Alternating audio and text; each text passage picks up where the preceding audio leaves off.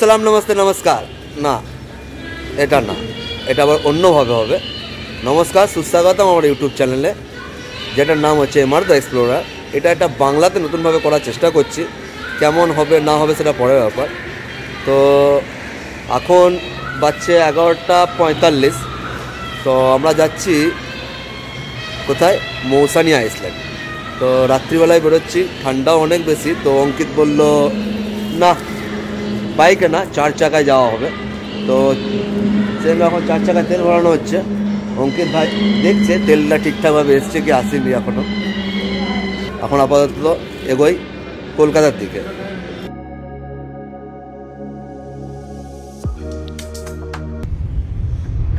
এখন বাজছে ভোর পাঁচটা, আর এখন আমরা পৌঁছে গেছি দ্বিতীয় হুগলি সেতুর উপরে।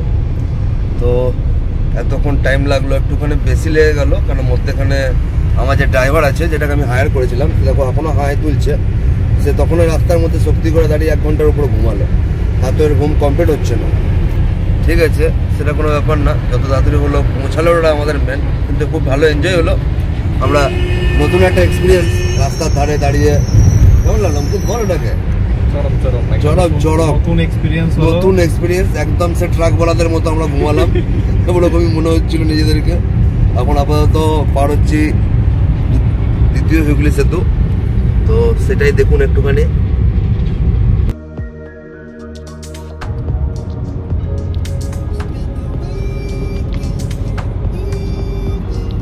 এখন আমরা পার হচ্ছি নামখানা ব্রিজ কলকাতা থেকে যেভাবে আসুন, এই ব্রিজটা ক্রস করেই আপনাকে যেতে হবে দক্ষিণ দুর্গাপুর ফেরিঘাটে।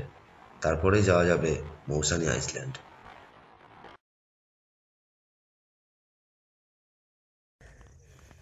রাস্তার মধ্যেখানে কিছুক্ষণ ঘুমানো দু, তিনবার।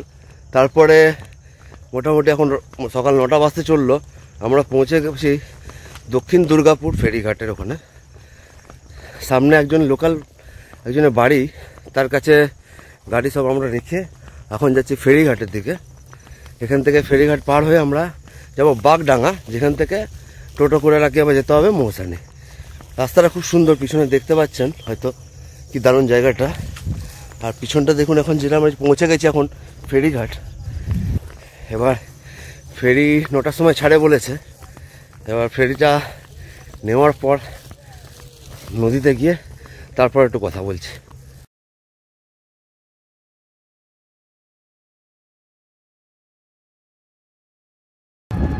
পনেরো মিনিট খেয়া পাড়াপাড় হওয়ার পর এখন আমরা বাগডাঙ্গা থেকে যাচ্ছি ক্যাম্পের দিকে।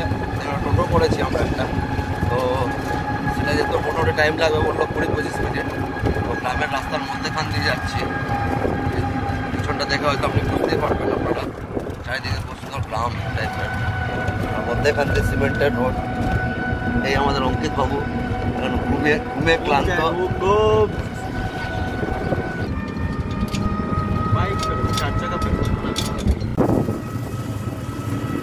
ফাইনালি আমরা পৌঁছে গেলাম আমাদের নেচার ক্যাম্প আলেফিয়া যেটা আমরা প্রথমেই অনলাইন থেকে বুক করে নিয়েছিলাম।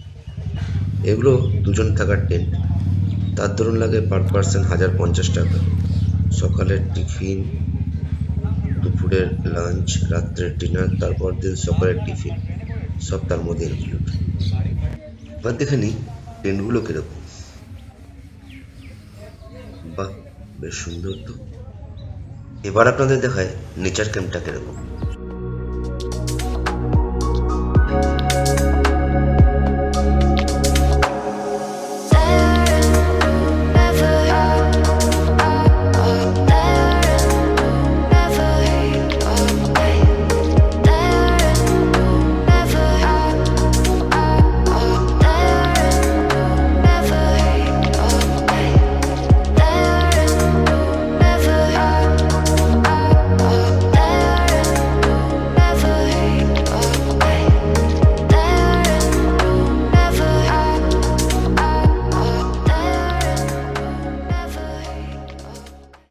রাতভর ভালো করে ঘুম হয়নি এবার একটু টেন্টে গিয়ে ঘুমিয়ে নেওয়া যাক।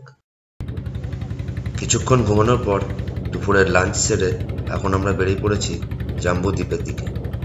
বোট ফেয়ার পার হেড দুশো টাকা।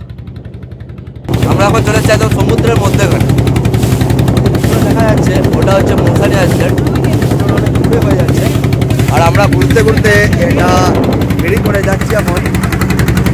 সরি। ফেরি করে যাচ্ছি এই পিছনে। এটা হচ্ছে জম্মু দ্বীপ তো এটা নামার পারমিশন নাই। জাস্ট আমরা খালি সামনে দিয়ে ঘুরে চলে আসব। তো অনেকেই আমাদের সঙ্গে আছে যারা ক্যাম্পে আছে, তারা এখানেই আছে এখন, প্রত্যেকজন। সবার সঙ্গে মিলে যাচ্ছে। ভালো লাগছে এখানে জায়গাটা। একবার ভিডিওটা দেখাচ্ছি আপনাকে, চারিদিকটা কেমন লাগছে না।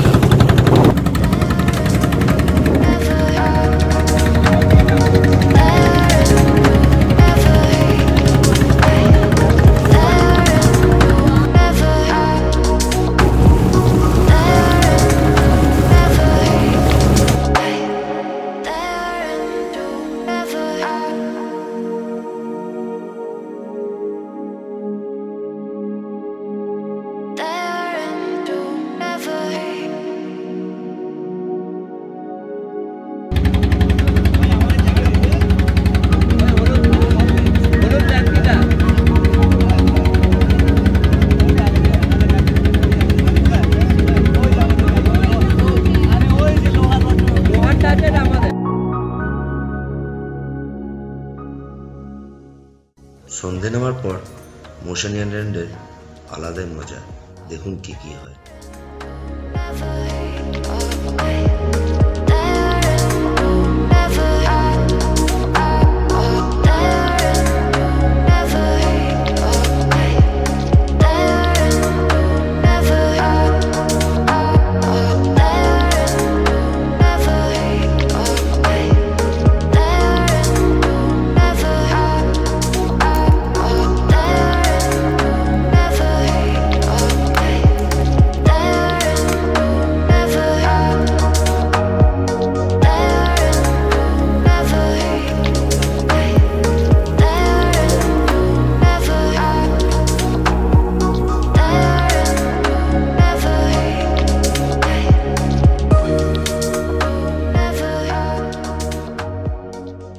সন্ধেবেলায় বারবিকিউ আর রাত্রে রুটি আর চিকেন খাওয়ার পর সারাদিনের যা ধকল গেল, যা দেখলাম আর আপনাদেরকে দেখালাম, তারপরে এখন ঘুমটাই মনে হচ্ছে নিতে হবে। আজকে টেন্টে ঘুমিয়ে কাল সকালে বেরিয়ে যাব টিফিন করার পর আসানসোলের দিকে। তো আপাতত গুড নাইট